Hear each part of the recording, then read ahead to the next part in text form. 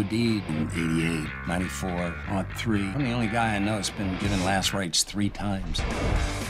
It's his first offense. It's His first criminal offense. It's bound to happen sooner or later. Any chance I'll get scared straight? Bring it, bitch. No. Hell no. They're coming to get me. You've hijacked enough of the class's time come to my office later and I'll decide whether or not you can take my class. There's a policy against fraternizing with your professors. I don't want to fraternize.